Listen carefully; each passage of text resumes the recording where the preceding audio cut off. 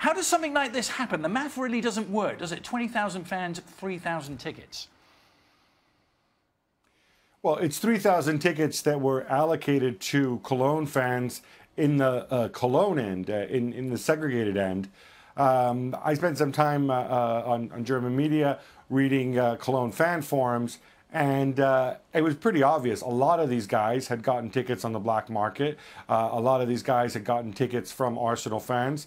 there were even reports, unconfirmed right now, that a lot of these people who, you know, after 25 years really wanted to be there for the first Europa League game, uh, had actually uh, bought Arsenal memberships. Since morale at Arsenal is pretty low right now, and uh, after what 15 years of Champions League football, they're not too excited about the Europa League. A lot of Arsenal fans didn't take up the option to buy the tickets, so uh, you know, these new Cologne fans with membership, with Arsenal memberships, uh, uh, acquired them. Um, and I should say, everything, even during the day, with uh, even though as intimidating as it might seem to look to see 20,000 people marching through the center of town, um, it was all very peaceful. Uh, their meeting point by the stadium, it was publicized on their websites. Everybody knew they were going there.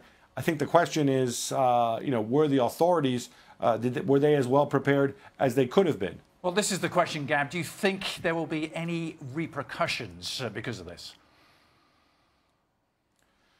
Look, I, I just be speculating right now. Uh, there's a lot of facts, uh, but what I can tell you is, is that what, what, the facts are that need to be established, and that is um, we know that there was some some incidents of, uh, uh, of, of, of fans trying to trying to break through barriers. Um, you know what was behind that? Uh, I think certainly they, they, they, could be punished for that. Uh, we need to establish, you know, how many of those fans who were there, how many of them were actually ticketless, and how many of them actually had tickets, but maybe not tickets that they were, you know, meant to have purchased because they, they got them on the black market or they got them from Arsenal supporters. Uh, and I think also from a law enforcement perspective, uh, did, did they cooperate as well as they might have with their German colleagues and, and, and so on. Uh, but this was widely uh, advertised that all these people were coming. Of course, they're, they're free to move.